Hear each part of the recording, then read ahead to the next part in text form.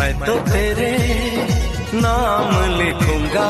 प्यासी ये कहानी एहसास Likey